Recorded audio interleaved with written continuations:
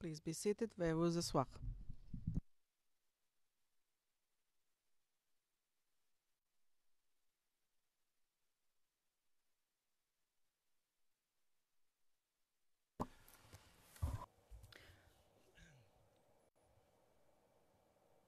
Le président, rebonjour, rebonjour monsieur le témoin, rebonjour à tous. I give immediately the floor back. Je vais immédiatement redonner la parole à Maître Naouri.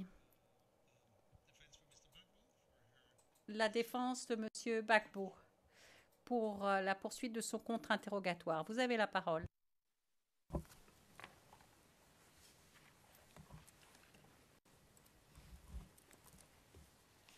Merci, Monsieur le Président.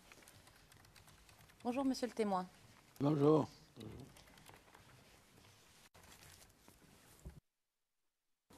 Alors, juste avant la pause, nous parlions de l'équipe de la mairie de Yupougon qui vous a proposé dès le 1er mars 2011 de faire des constats de dommages, n'est-ce pas C'est- C'est correct? Oui, c'est juste. Donc, cela signifie que dès le 1er mars 2011, vous auriez pu faire le nécessaire pour que les constats de dommages soient faits par les autorités. C'est bien ça? Oui. D'accord. Alors, vous avez fait appel à un huissier, nous en avons parlé, pour faire ces constats.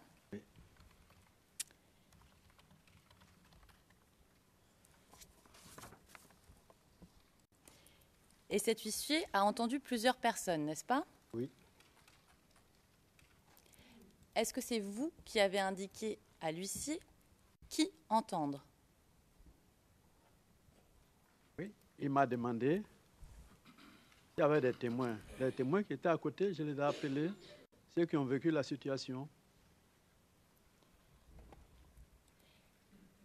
Est-ce qu'ils étaient à la mosquée ce jour-là? Ou est-ce que vous les avez convoqués? Ils étaient à la mosquée et je sais ceux qui étaient à la mosquée. Il y avait Binaté. Puis il y avait, il y avait deux autres. Je les ai appelés.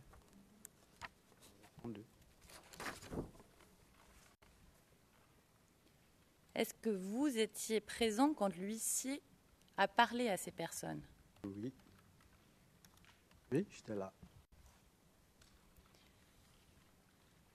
Où est-ce que le- l'huissier les a entendus? À la mosquée.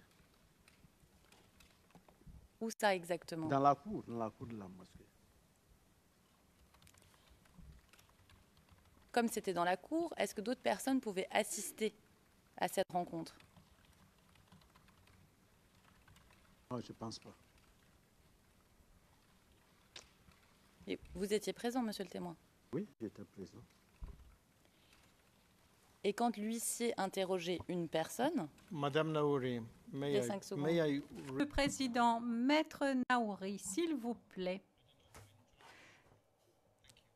Je vous ai rappelé déjà à plusieurs reprises à l'ordre, s'il vous plaît. alors je reprends, monsieur le témoin. Vous étiez présent quand l'huissier interrogeait des témoins. Est-ce qu'il y avait d'autres personnes qui assistaient à ces rencontres? Il avait aussi euh, un enregistreur. Il a enregistré aussi. D'accord, donc il existe des enregistrements des entretiens, si je comprends bien. Oui, j'ai répondu oui.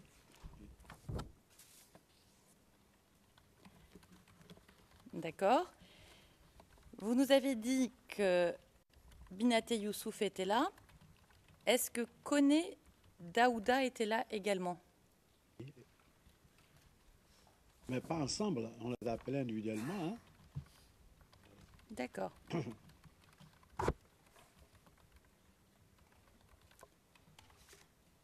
Comment vous le connaissiez, Daouda Koné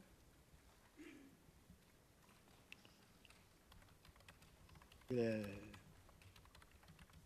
C'est un fidèle de la mosquée. C'est un allié entre les Kone et les Traoré. Il y a une alliance. On a l'habitude de jouer ensemble à la mosquée. D'accord. Et avant qu'il parle à l'huissier, est-ce que Daouda Koné vous a raconté ce qui lui était arrivé Oui.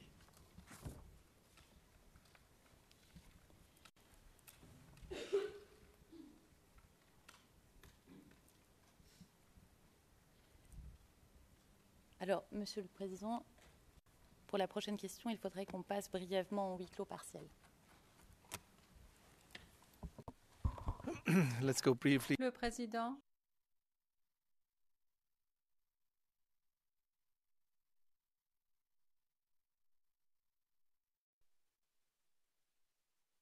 We are in open session, Mr. President. Greffier d'audience, nous sommes en audience publique, Monsieur le Président. Le Président, Maître Naour.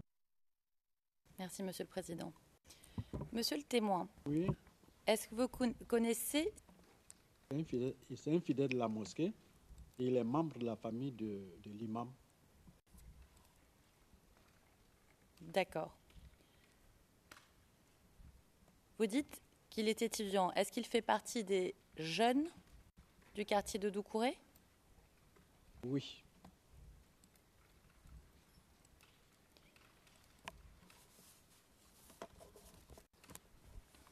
Monsieur le témoin, juste une petite clarification par rapport à ce qu'on a dit tout à l'heure. On, a très bien compris ce que vous nous avez dit. Il y avait des affrontements entre jeunes de Doucouré et d'Iaoci. C'est clair. Mais quand vous avez parlé au bureau du procureur, vous avez parlé du terme milice. Milicien, plus exactement. Vous désignez les jeunes de Yaocei, n'est-ce pas? Oui. D'accord.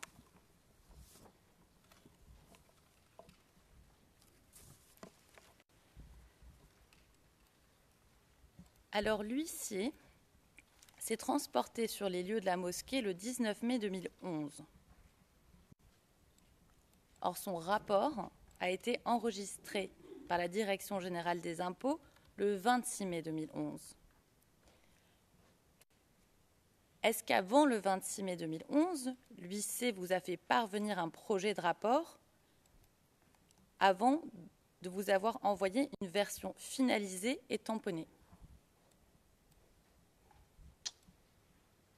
Je sais pas. Pas sûr. hein. Je ne vais pas. Sais, quand nous avons fini de payer, il a dit qu'il allait, allait nous envoyer une copie.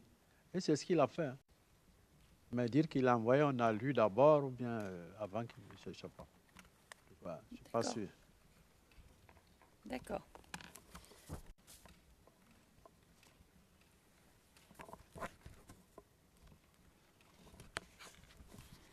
Alors, monsieur le témoin, pendant la crise, vous êtes parti à Boaké, n'est-ce pas? Oui. Est-ce que vous vous rappelez quand c'était?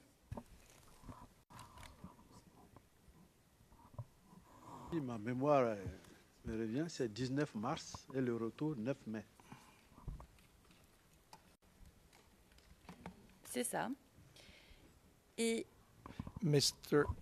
Mr. Le Président, Monsieur le témoin, est-ce que vous pourriez, s'il vous plaît, rapprocher votre chaise du microphone, vous rapprocher du microphone de manière à ce que les interprètes vous entendent mieux? Merci beaucoup.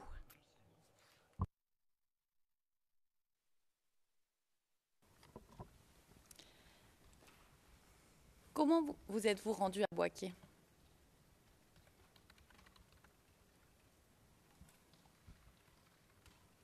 Euh, compte tenu de mes sorties abusives, c'est-à-dire que un moment donné, les enfants ont constaté que vraiment, je risquais beaucoup de choses en sortant, euh, en allant avec les, les organisations, euh, je sais pas moi, les ONG, les machins qui venaient prendre des renseignements, des journalistes et tout. Alors, les enfants ont trouvé que ce n'était pas prudent pour moi de rester là parce que je me, je me livrais trop. Ah, ils sont venus un matin, ils m'ont dit, papa, nous, on a besoin de toi encore, on va à Boaké. Et on m'a amené, je n'ai pas discuté. Je suis allé à Boaké. D'accord. Alors, avant de revenir sur votre séjour à Boaké, vous, vous- vous venez de nous parler de vos enfants. Le 25 février 2011, vos enfants ont participé au lancer de pierre, n'est-ce pas? Avec, oui, deux de mes enfants, plus un neveu.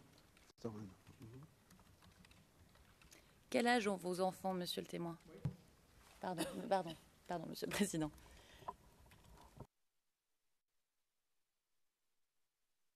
Ils sont majeurs.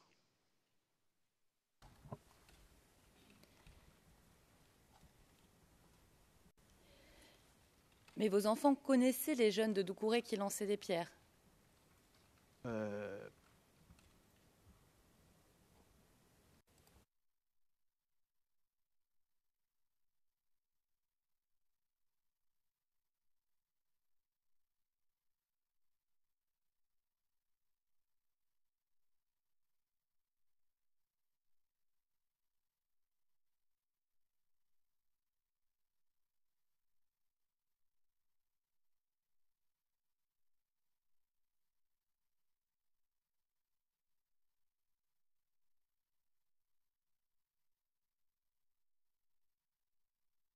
Quand vous dites ils n'ont fait que suivre les autres, est-ce que ça signifie qu'ils ont eux aussi lancé des pierres? Ils ont lancé des pierres. D'accord. Alors, Ils se- reven- He said that already. Président, il a déjà dit, il l'a déjà dit. Alors revenons à Boaké. Vous saviez que les rebelles étaient installés à Boaké, n'est-ce pas? Bien sûr.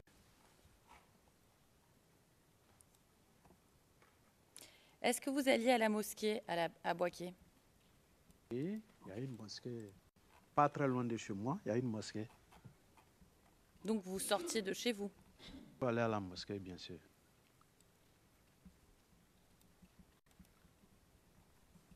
Est-ce que vous avez vu des rebelles à Boaké à cette époque-là?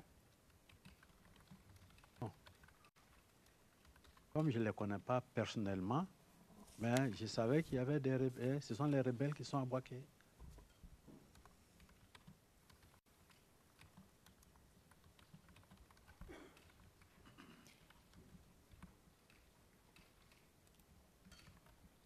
Est-ce que vous saviez que Shérif Ousmane était le chef des rebelles à Boaké? Ça, je ne sais pas. Je sais qu'il y avait des rebelles, des chefs rebelles.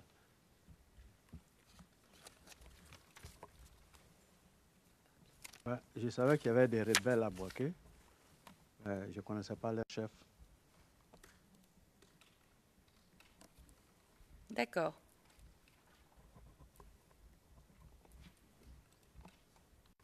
Do you know? Do you know? Le président, est-ce que vous connaissez Shérif Ousmane? Je connais pas. But did, but did you know who he he was? Le président, mais connaissiez-vous son nom? Saviez-vous qui il était? Connais son nom.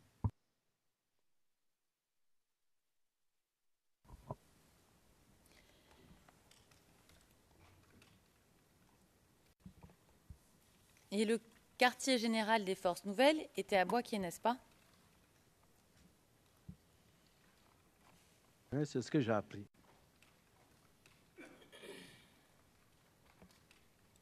Vous qui étiez à Boaké, est-ce que vous avez vu ce quartier général? Est-ce que vous saviez où il était situé?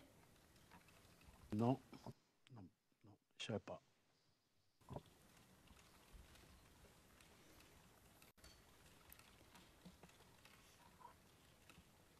Est-ce que vous avez vu à Boaké, notamment quand vous vous rendiez à la mosquée, par exemple, des personnes en tenue militaire Car je n'ai pas eu cette occasion. Quand vous étiez à Boaké, vous n'avez vu. Pardon, vous n'avez pas vu de personnes en tenue militaire, si je Ah, comprends en bien. tout cas, je ne sortais pas. Ah. J'étais chez moi, euh, j'étais en famille. C'était tout.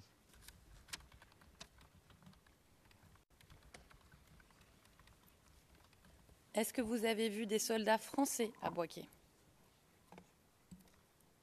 ne me rappelle pas.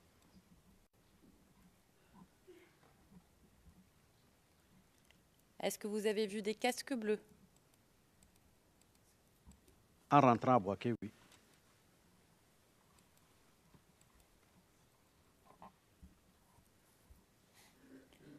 En rentrant à Boaké, qu'est-ce que ça veut dire? Puisque je suis quitté Abidjan, je suis rentré à Boaké. Ils sont, ils sont euh, à la rentrée de Boaké. D'accord.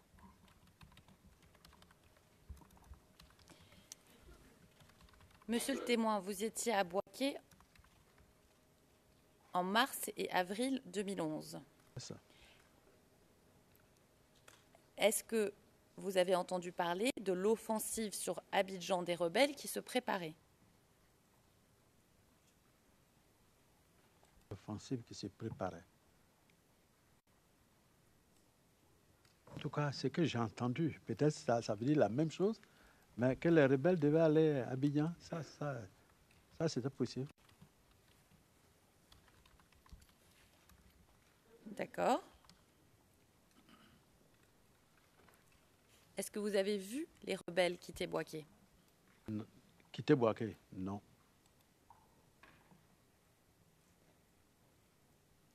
Est-ce que vous avez prévenu votre femme et vos enfants de l'arrivée des rebelles de Boaké à Abidjan? Non.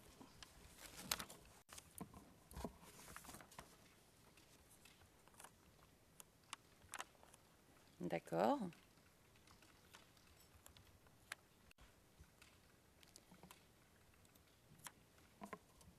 Monsieur le Président, pour la prochaine question, il faudrait qu'on passe à huis clos partiel.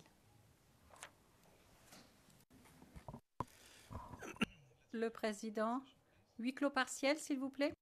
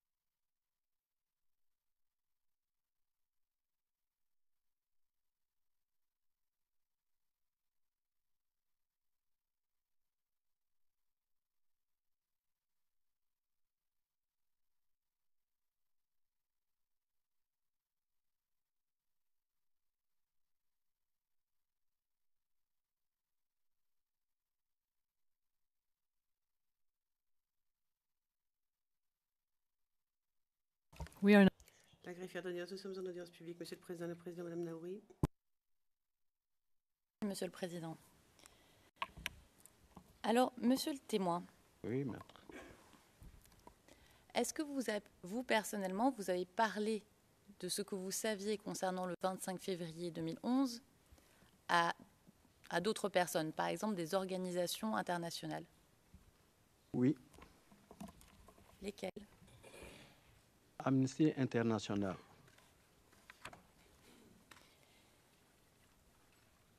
Est-ce que vous vous rappelez du nom de la personne d'Amnesty International que vous avez rencontrée? S'appelait M. Moutou et le reste, j'ai oublié.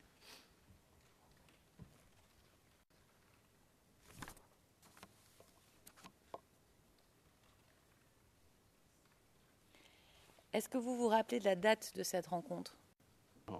Tout cas, c'était quelques jours après, après qu'on ait brûlé la mosquée. Oui, ça n'a pas trop duré quand même.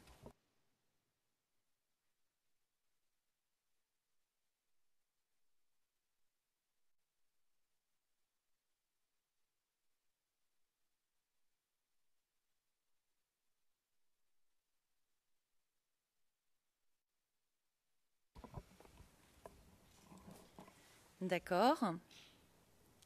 Et comment ces personnes vous ont contacté? Comme euh, déjà, ils, ont su lieux, hein, ils, ils ont su qui était le responsable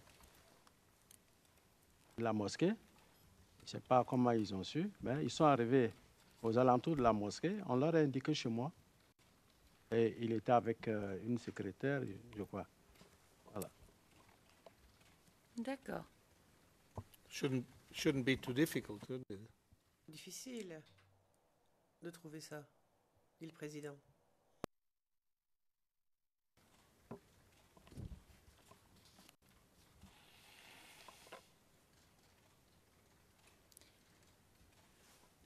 Monsieur le témoin, est-ce que vous vous souvenez avoir noté cet entretien dans votre agenda?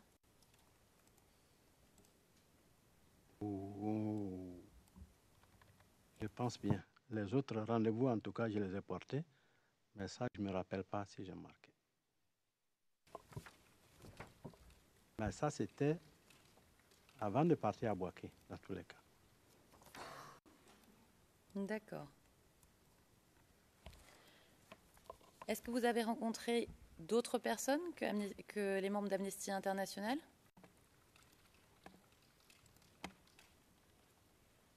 Je- Malheureusement, je n'ai pas gardé les noms, mais d'autres groupes sont passés, que ce soit des Ivoiriens ou d'autres ailleurs. En tout cas, ils sont venus chez moi et nous sommes allés sur le terrain pour aller voir. Même, euh, il y a un groupe, euh, je ne sais pas si c'est... Bon. Non, ce ne sont pas des Chinois, mais ils étaient venus. Je crois que... euh, entre-temps, le secrétaire général de, l'ONU, et il a une ethnie, là, c'est ce groupe-là qui est venu me voir, et je les ai envoyés.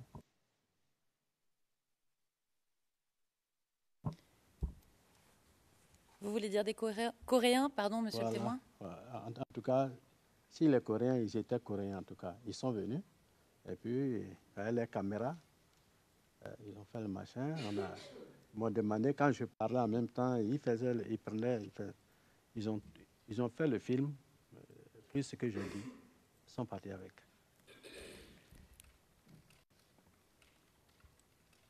Donc ce que vous nous dites, c'est que vous avez fait une interview filmée. Est-ce que c'était pour la télévision? Non, c'était pour ceux qui étaient venus en tout cas.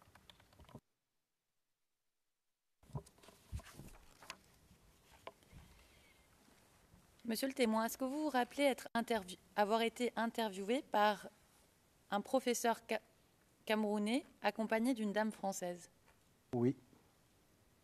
C'est moi à la maison.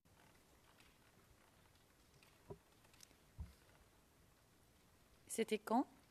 Je ne me rappelle pas de la date. En tout cas, pour la date, vraiment, ma tête ne peut pas. ne peut pas garder. Il y a trop de problèmes dedans. D'accord. Alors, je vais peut-être vous rafraîchir la mémoire, puisqu'au paragraphe 20 de votre attestation, au bureau du procureur, vous dites Enfin, en 2013, j'ai été interrogée par une Française accompagnée d'un professeur camerounais, je crois. Cette femme préparait une thèse sur la crise post-électorale en Côte d'Ivoire. Je ne me rappelle pas de son nom ni de celui du professeur. Fin de citation. Et pour le dossier, c'est la page 1349.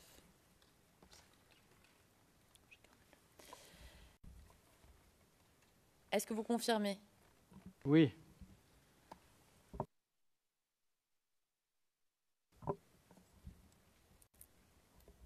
Est-ce que ces personnes... 1350, I would say. 130. 1,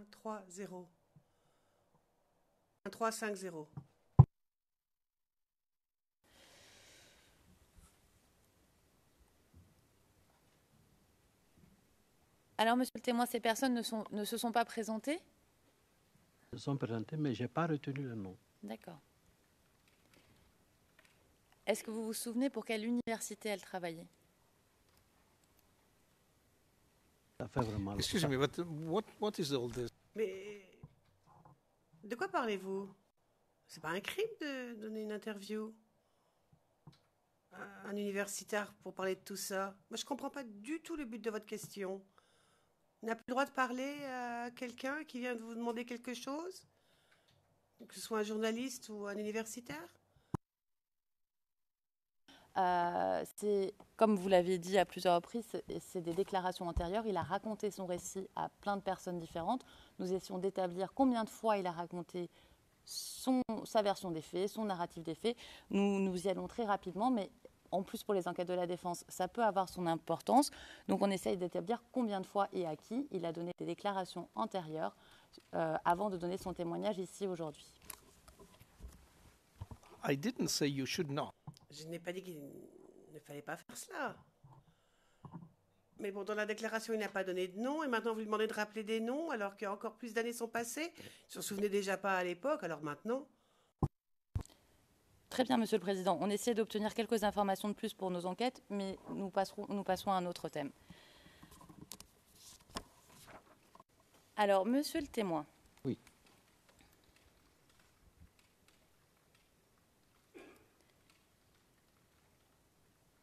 Est-ce que, en tant que président de la communauté musulmane de Siko Gilem, vous avez été informé de ce que la mosquée a été contactée par une, par une organisation du nom de Ivoire Qatar Oui.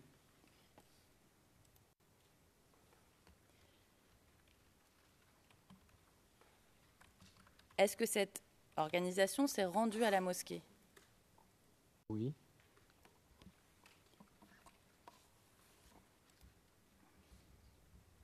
Est-ce que vous, avez parlé avec des représentants de cette organisation?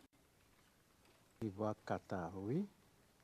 Euh, je les ai connus par l'intermédiaire du, président du Sénic aussi. Donc, euh, on voulait qu'il nous aide euh, pour notre mosquée, euh, pour le bureau qui a été complètement pillé. On cherchait des, des personnes qui pouvaient nous aider. Et cette personne-là nous a fait croire qu'elle pouvait, qu'elle pouvait nous aider. Et voilà. Elle est venue là.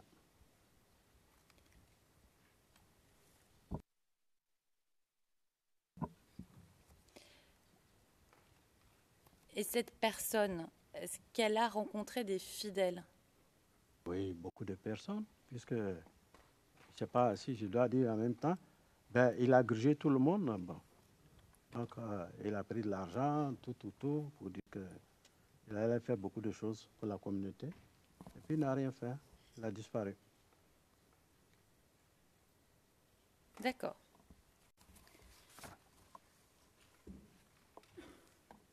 Alors, monsieur le témoin, Mhm. nous en, nous en avons parlé ce matin en tant que président de la communauté musulmane de Sikoji. Vous avez rempli un formulaire de demande de participation en tant que victime à la procédure ici à la CPI.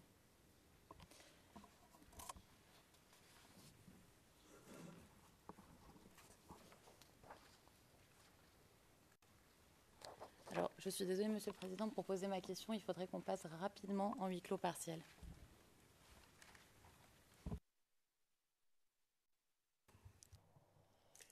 Président passe sur avec le partiel, s'il vous plaît.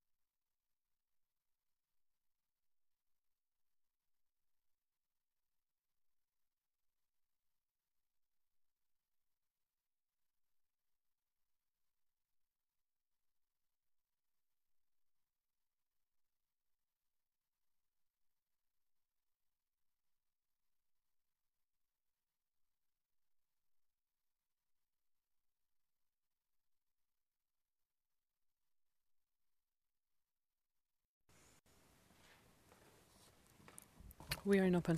La greffière d'audience, nous sommes en audience publique, Monsieur le Président. Le Président, Madame Naouri.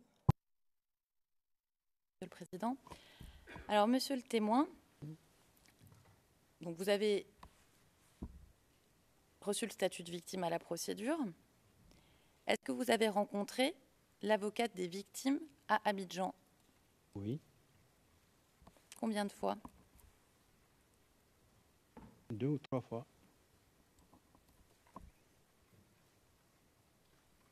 Qui est-ce qui vous prévenait de, de, de ces visites et de ces rendez-vous? Euh, puisque l'avocat avait mon numéro, on m'appelait et puis je venais au rendez-vous. Est-ce qu'il y avait d'autres victimes présentes? En tout cas, chaque fois qu'on me reçoit, j'étais toujours seul.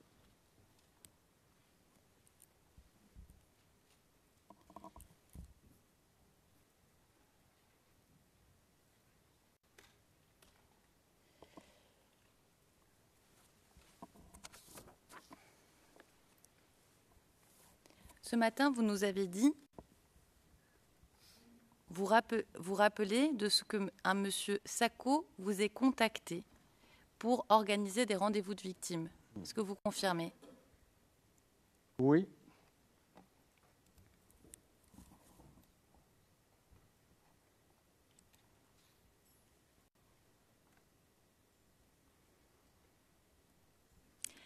Est-ce que vous avez participé aux réunions avec les trois personnes que vous lui avez indiquées qui ont eu lieu oui. Est-ce que vous pouvez nous en dire un petit peu plus? Sur quoi? Sur le contenu. Maître Sako m'avait demandé de faire venir ces trois personnes, effectivement, pour avoir plus de renseignements sur les victimes. Si c'était des. Surtout pour, pour savoir leur ethnie, leur appartenance ethnique ou autre chose. Effectivement, je suis venu à cette personne, parce que ces personnes-là, ce sont ces personnes-là qui ont enseveli, qui ont enterré les morts. Donc, c'est eux qui ont fait les premières listes. Donc, eux, ils étaient plus renseignés que tout le monde. Donc, c'est pourquoi je les ai envoyés.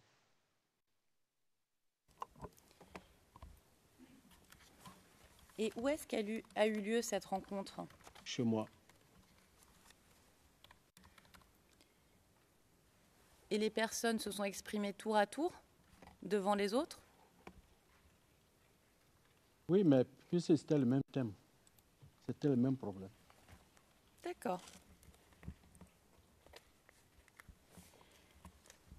Est-ce que vous avez rencontré l'avocat des victimes ou un membre de son équipe récemment avant de venir témoigner ici aujourd'hui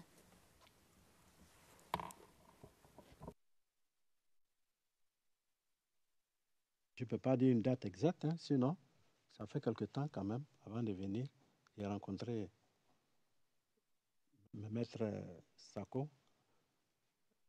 maître Paulina, Abidjan. Et après cette visite, vous ne les, vous ne les avez plus rencontrés, c'est ça? Non.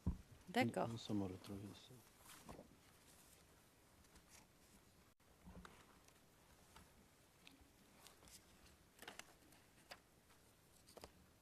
Monsieur le témoin, est-ce qu'un service de la Cour vous a fourni des lunettes en 2016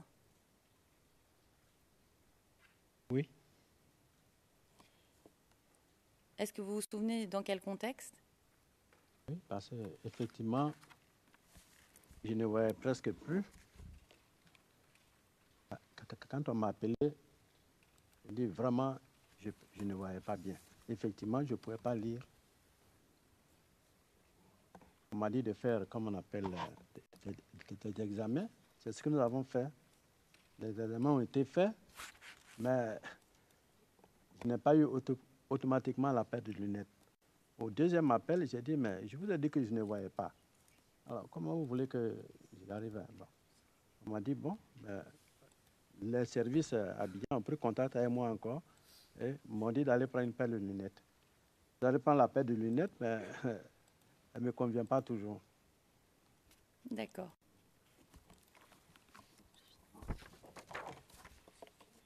Je vous remercie, monsieur le témoin. Pas de problème.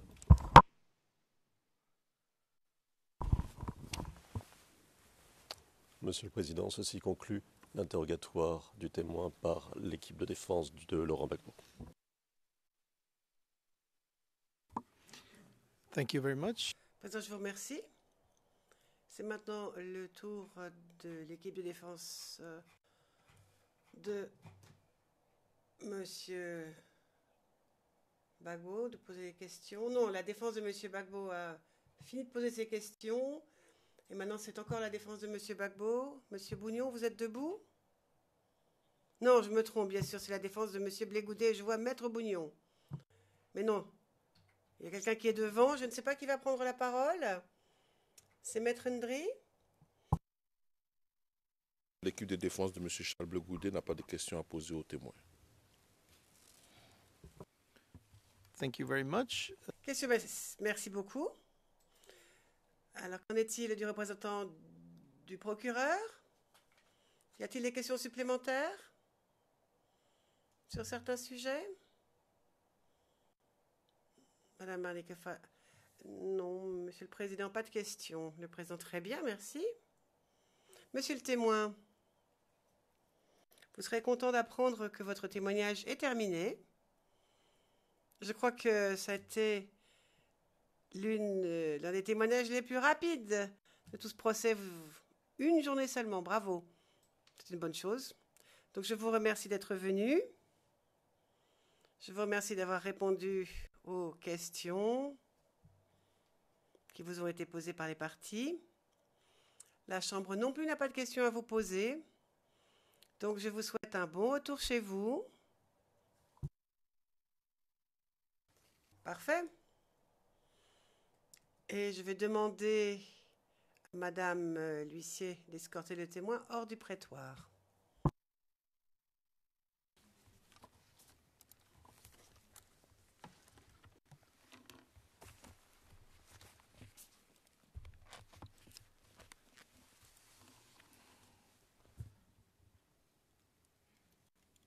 I wish to thank uh, Le Président, je tiens à remercier toutes les équipes dans ce prétoire. Nous avons atteint notre objectif sans le voyer. Nous avons réussi à entendre deux témoins alors qu'il n'y avait que trois jours d'audience cette semaine. Et puis maintenant, nous allons pouvoir profiter de ce long week-end. Mais nous nous reverrons lundi 1er mai Donc, l'audience est levée et nous reprendrons lundi 1er mai, 9h30. 9h30, de toute façon, c'est un témoin que nous allons entendre par vidéoconférence.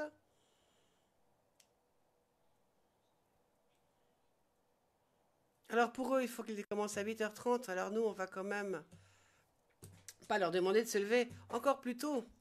Je vois que nous sommes tous d'accord. Madame Massida avait l'air inquiète. Mais non, tout est arrangé, ne vous en faites pas. 9h30, le 1er mai. Merci.